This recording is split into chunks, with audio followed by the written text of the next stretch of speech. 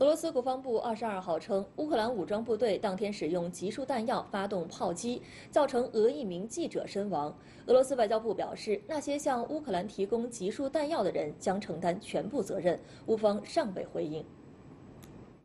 俄罗斯外交部发言人扎哈罗娃二十二号表示，当时遭袭俄记者正在就乌方使用美国提供的集束弹药进行采访。他说，事件凶手将受到应有惩罚，提供集束弹药的人也将承担责任。俄罗斯驻美国大使馆称，美国应对此事负责。乌克兰方面尚未对此作出回应。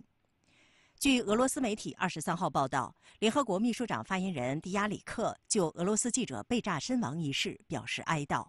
国际人士指出，美国提供集束弹药，表明其为了私利无视冲突地区民众的生命。